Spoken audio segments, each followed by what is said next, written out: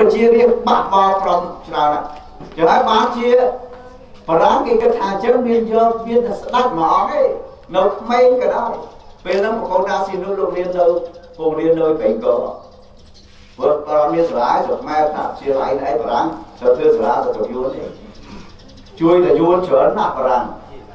ហើយស្មៀនរបស់អ្នកស្មៀនរបស់បារាំងអ្នកបកប្រែបារាំងសិតតែយួនចឹងហើយបារាំងចង់ធ្វើអីយួនដល់មុនទៅអត់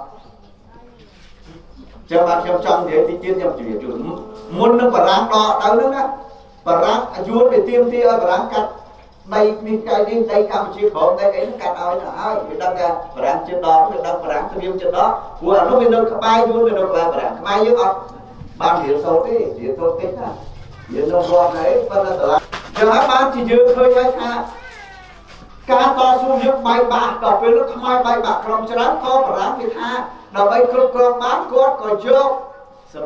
យាងសម្ដេចជានោះលោកជននៅក្មេងឡើយពីសាលាមកមកស្អីនេះព្រោះអីព្រោះបារាំងគេគិតថាសម្ដេចជានោះលោកមាន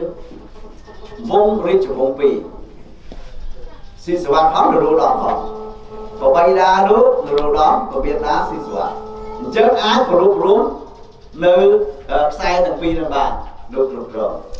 ដល់ព្រះអង្គលោកជារាជវង្សមួយគ្រប់គ្រងអាចមកសំគុំរាជវង្សឲ្យគ្រប់គ្រងបានបានព្រះអង្គឈានទៅគ្រប់គ្រងខ្មែរទាំងអស់ទៀតរហូតដល់ក្រុមគ្រប់ក្រុមអ្នកតស៊ូទាំងអស់អិសរៈទាំងអស់គ្រប់ច្រកទាំងអស់សុខចិត្តទម្លាក់អាវុធសុខចិត្តមករួមជាមួយនឹងសម្ដេចនរោត្តមសីហនុហើយចុងក្រោយនេះមានពីរក្រុមទៀតគេហៅនយោបាយ ក្រហមហើយនឹងខៀវនៅខ្មែរសេរីហើយនឹងខ្មែរដែលកុម្មុយនីស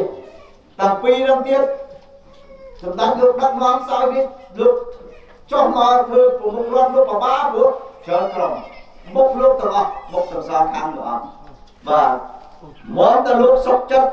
មកប្រលប់រួមបានណាបងប្អូនប្រលប់រួមទាំងគ្រប់ចលនាទាំងអស់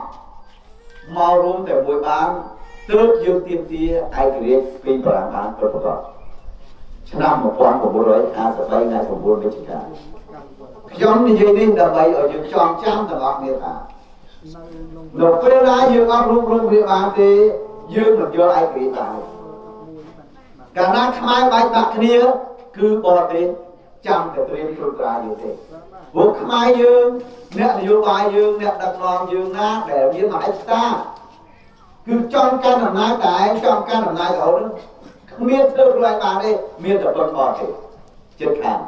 ហើយពេលប៉ុនបរទេសនឹងហើយដែលដែលធ្វើឲ្យយើងបាត់បង់ទឹកដីឲ្យគេត្រួតត្រាឲ្យអន់ហើយទាំងសេដ្ឋកិច្ចរបស់ជាតិទៅទៀតអញ្ចឹងពីថ្ងៃនេះទៅគោលចំណងនយោបាយរបស់គណៈបកសង្គ្រោះជាតិយើងចង់ឲ្យមានការផ្សះផ្សាជាតិប្រពៃជាតិពិតប្រាកដដោយឈរលើមូលដ្ឋាន ឯករាជ្យភាពអធិបតេយ្យភាពបូរណភាពទឹកដីខ្មែរយើងសូមអរគុណអរគុណរំលឹកដល់គុណដល់ព្រះបរតខ្មែរទាំងអស់តាំងពីសម័យអាចារ្យស្វាពុទ្ធរបស់ទាំងអស់គ្រប់ចលនាអិសរៈចលនាខ្មែរទាំងអស់ដែលតស៊ូដើម្បីពុកផាជាតិសូមឲ្យវិញ្ញាណខណ្ឌអ្នកទាំងអស់នោះថ្ងៃ9វិច្ឆិកាឆ្នាំ2014នេះសូមឲ្យបាន មកសន្តិមកនៅលើអ្នកនយោបាយខ្មែរអ្នកដឹកនាំខ្មែរសូមឲ្យបន្តការតស៊ូរួមរួមគ្នាដើម្បីឲ្យខ្មែរបានឯករាជ្យពិតប្រាកដពីដល់នេះតទៅ